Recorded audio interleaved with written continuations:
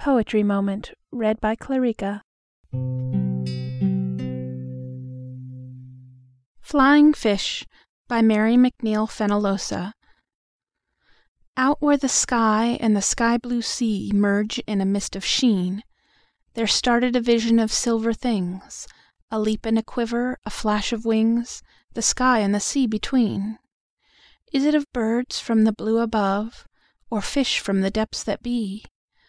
Or is it the ghosts, in silver hosts, Of birds that were drowned at sea?